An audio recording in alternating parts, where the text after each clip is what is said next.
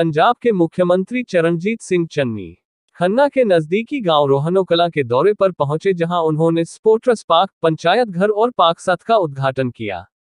इस मौके पर उनके साथ फतेहगढ़ साहिब से सांसद डॉक्टर अमर सिंह, पायल के विधायक लखबीर सिंह लखा, जिला परिषद के चेयरमैन यादविंदर सिंह जंडियाली के अलावा अन्य गणमान्य व्यक्ति भी उपस्थित थे।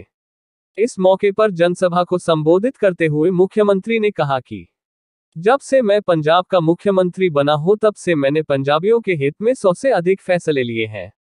उन्होंने कहा कि पंजाब पूरे उत्तरी क्षेत्र में सबसे सस्ता पेट्रोल और डीजल मुहैया करवा रहा है और इसी तरह पूरे देश में बिजली की दरें पंजाब में सबसे सस्ती हैं।